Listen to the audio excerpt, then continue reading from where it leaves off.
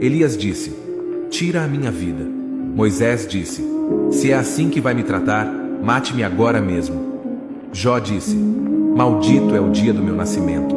Jeremias disse: Maldito seja o dia que eu nasci.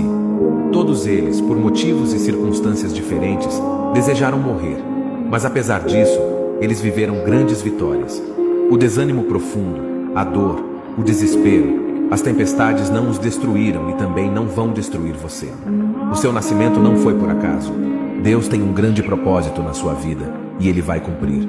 Seja forte e confie nele. Lembre-se o que Isaías 40, 29 disse. Ele fortalece ao cansado e dá grande vigor ao que está sem forças. Até os jovens se cansam e ficam exaustos, e os moços tropeçam e caem, mas aqueles que esperam no Senhor renovam as suas forças. Voam bem alto como águias, correm e não ficam exaustos, andam e não se cansam. Seja forte e corajoso.